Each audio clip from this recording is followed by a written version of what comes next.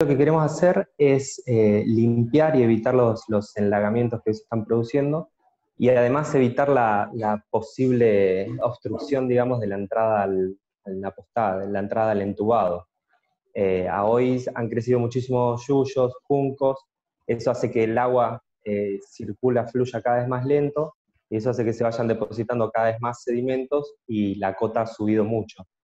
Eh, además, digamos, todo este junco, yuyo, eh, obstruye también ramas, junta basura que viene por el agua. todo eso hace que en, algún momento que necesitemos derivar algo de agua de lo que está yendo al Maldonado, derivarla por este canal hacia el entubado, eh, va a hacer que se obstruya el ingreso, ¿no es cierto?, la, entrada al entubado. Eh, estos ruidos que vos me decías del biólogo que ha salido a hablar en estos días, en realidad él ve solo la, parte ecológica, eh, no ve la, parte de seguridad.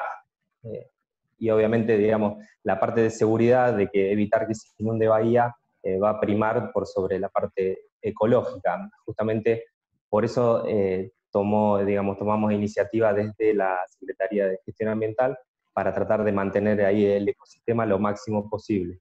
Pero en realidad lo que vamos a hacer es limpiar una margen del, del arroyo y dejando, digamos, del otro lado eh, para que se siga reproduciendo. Aparentemente, por lo, que nos han dicho los expertos, cerca de un año ya vuelve a estar eh, todo lo, que es la, fauna vuelve a estar, se vuelve a recomponer.